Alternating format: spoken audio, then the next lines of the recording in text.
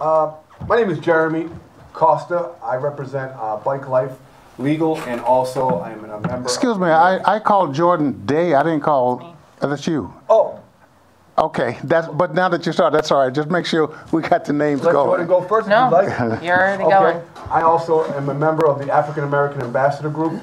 Uh, and it, um, I, I just wanted to mention, you guys kept on saying how much work has been done on this bill 8310. And actually, it's a cut and paste of the previous bill that um, did not make it through committee, 5367. I don't know if you guys have access to that bill. If you guys want to pull that up because this is a cut and paste of this bill with maybe an amendment on page four and page six.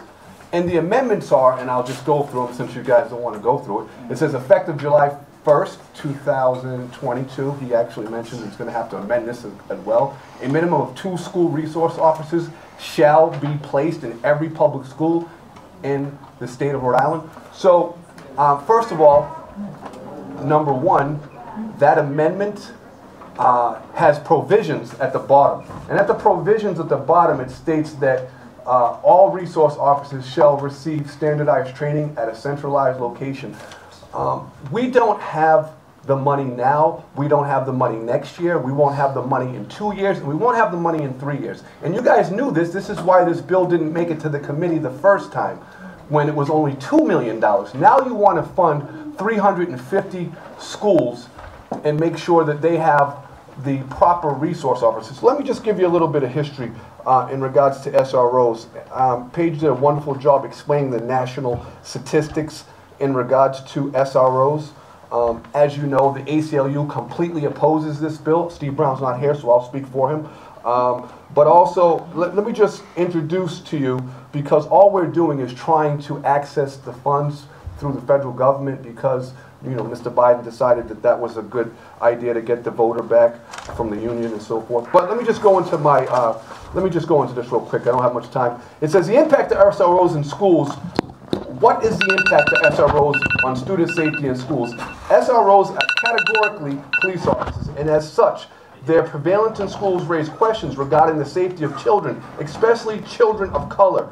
Children living in poverty, immigrant children. Decades of evidence demonstrate racial and ethnic disparities in policing. Black and Latino communities, youth and adults are disproportionately subjected to uh, pedestrian and vehicle stops, citations, searches, arrests, and incarcerations. In addition to the rate of police contact, the nature of police contact harm communities of color specifically.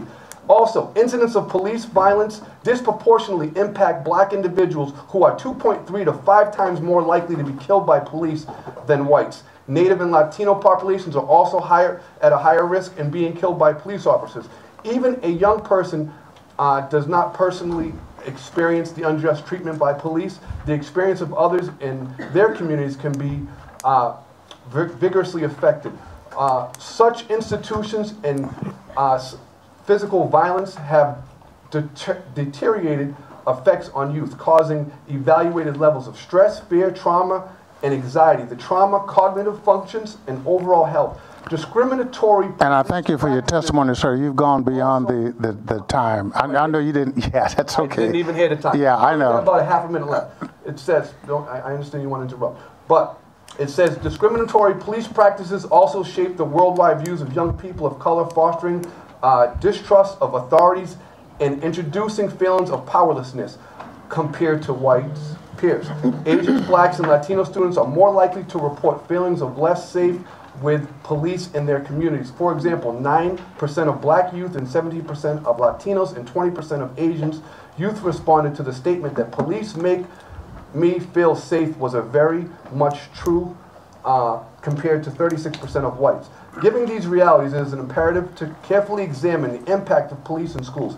Evidence suggests that the presence of SROs in schools do very little to improve children's safety and may affect the, uh, the And I, and I, and I thank you for your testimony. I really I do. just wanted to make sure. Yeah. So please, Okay. don't congratulate a man that just cut and paste a bill uh, from O'Brien. You know, Okay. uh, please don't, don't, don't, don't, don't, don't feed into that. The man did no work. He's just trying to tap into the voter public. That's it. Okay. Thank you. Gotcha. You're welcome. Yes, ma'am.